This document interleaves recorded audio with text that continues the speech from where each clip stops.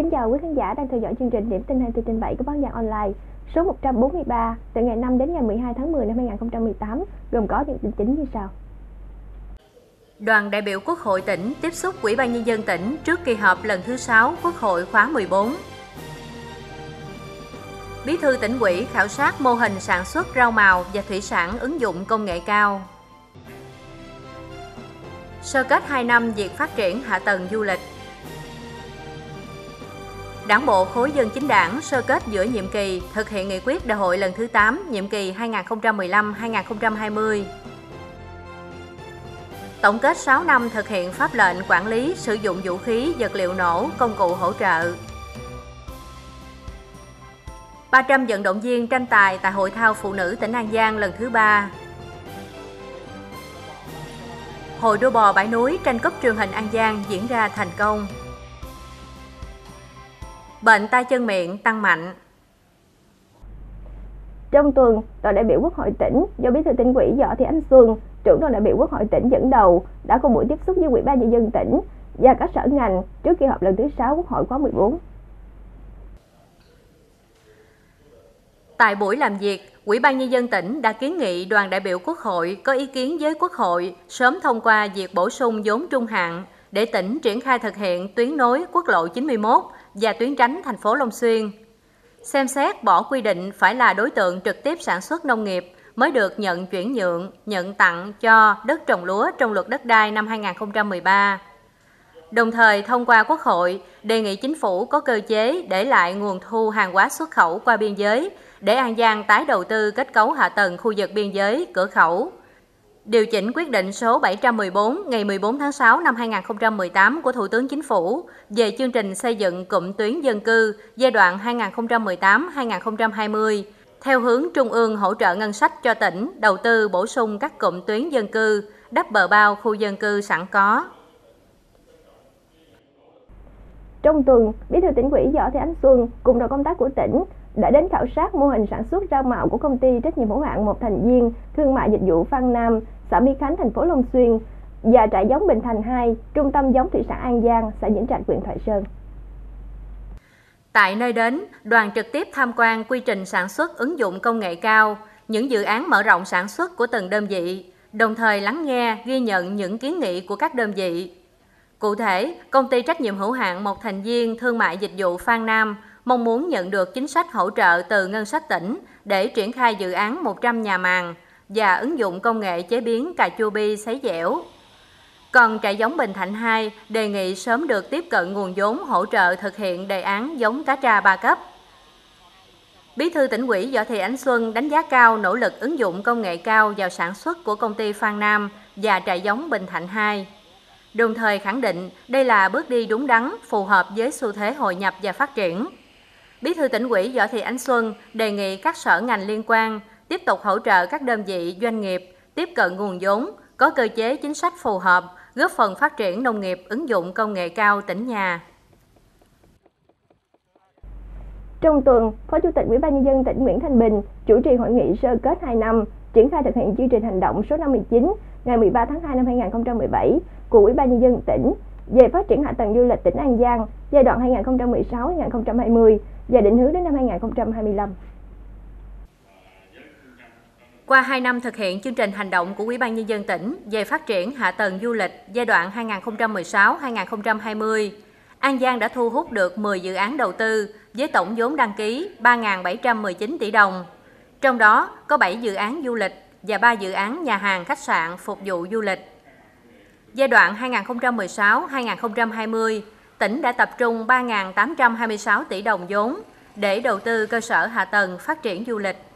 Nhờ đó, hạ tầng giao thông và hạ tầng các khu du lịch từng bước hoàn thiện, tạo điều kiện thuận lợi thu hút nhiều du khách đến với An Giang.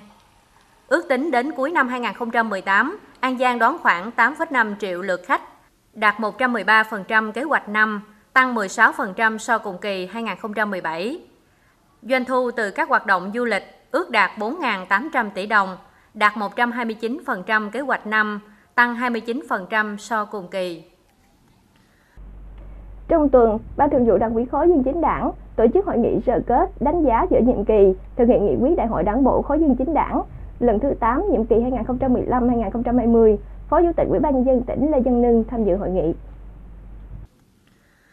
Phát biểu tại hội nghị, Phó Chủ tịch Ủy ban nhân dân tỉnh Lê Văn Nưng ghi nhận đánh giá cao kết quả Đảng bộ khối dân chính đảng đạt được sau nửa nhiệm kỳ thực hiện nghị quyết Đại hội Đảng bộ.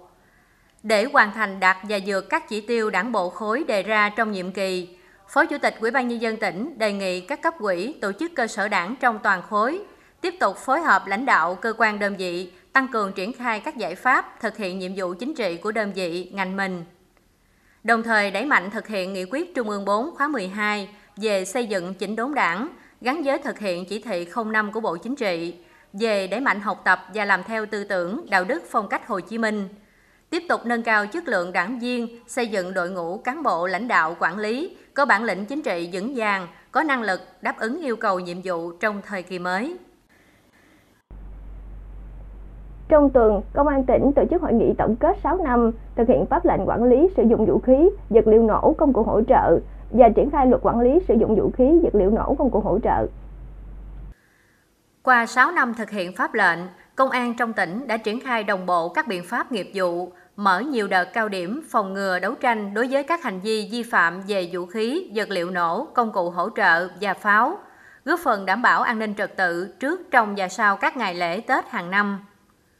Theo đó, đã tiếp nhận thu gom số lượng lớn vũ khí, vật liệu nổ, công cụ hỗ trợ gồm 265 khẩu súng quân dụng các loại, 31 khẩu súng săn, 26 quả lựu đạn mìn các loại,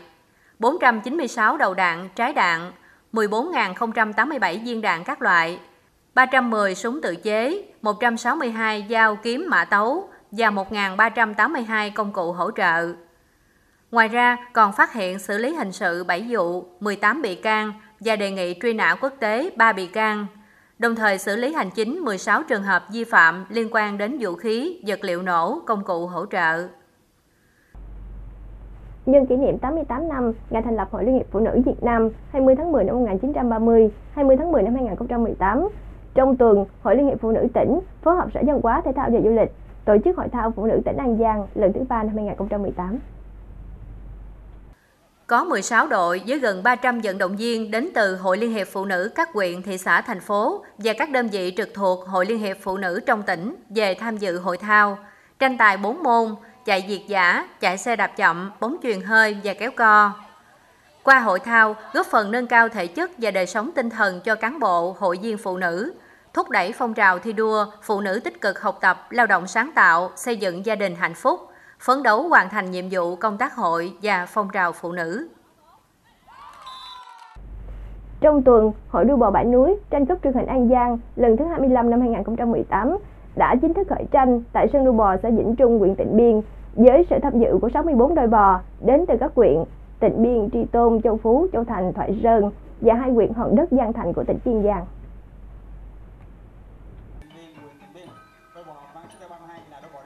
Sau những màn tranh tài sôi nổi, đôi bò của ông Nguyễn Thành Tài, xã Lương Phi, Tri Tôn đoạt cúp vô địch. Đôi bò của ông Ngô Văn Cước, xã Núi Doi, Tịnh Biên đoạt hạng nhì. Đôi bò của ông Chao Chanh Ra, xã Giang Giáo, Tịnh Biên xếp thứ ba. Và đôi bò của ông Chao Sóc Xanh, xã Tân Lợi, Tịnh Biên đoạt hạng tư chung cuộc. Ngoài ra, ban tổ chức còn trao 4 giải khuyến khích cho các đôi bò có thành tích tốt. Trao giải người điều khiển giỏi cho ông Nguyễn Thành Tài, xã Lương Phi, Tri Tôn. Những tuần gần đây, số ca mắc bệnh tay chân miệng ở trẻ tăng nhanh, nguyên nhân do chủng virus EV71 quay trở lại. Đây là chủng virus có đặc tính dễ lây lan và dẫn đến nhiều biến chứng. Trung tâm Y tế Dự phòng tỉnh cho biết, hiện không có thuốc đặc hiệu điều trị và chưa có vaccine phòng ngừa bệnh. Do đó, phụ huynh cần đảm bảo vệ sinh cho trẻ như thường xuyên rửa tay bằng xà phòng, nhất là sau khi chạm vào những vết loét, bóng nước của người bị bệnh tránh tiếp xúc gần, dùng chung muỗng nĩa, chén với người bệnh. Không cho trẻ đang bệnh đến các nơi vui chơi, tập trung nhiều trẻ nhỏ khác.